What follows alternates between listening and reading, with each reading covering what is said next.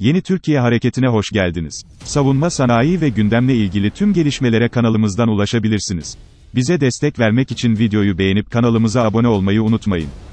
TÜBİTAK SAGE, Almanya merkezli Rheinmetall'in alt kuruluşu olan RWM Italya ile mutabakat zaptı imzaladı.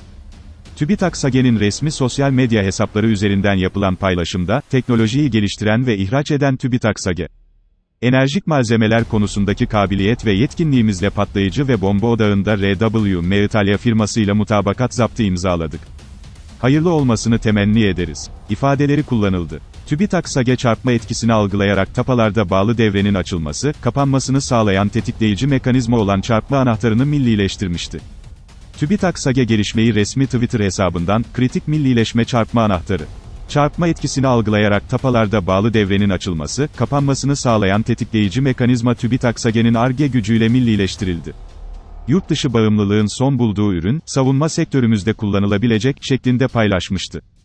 TST-101 tapası, Hava Kuvvetleri Komutanlığı envanterinde bulunan bombalarda kullanılmak üzere geliştirilmekte olan bir sert hedef tapasıdır. TST-101 Tapa Komplesi, MK-80 serisi uçak bombaları, SOM, SOM-J füzeleri ve nüfuz edici bomba gibi mühimmat sistemlerinde kullanılmak üzere geliştirilen, elektromekanik tapa ve tapa başlatıcısını içeren tapa komplesidir.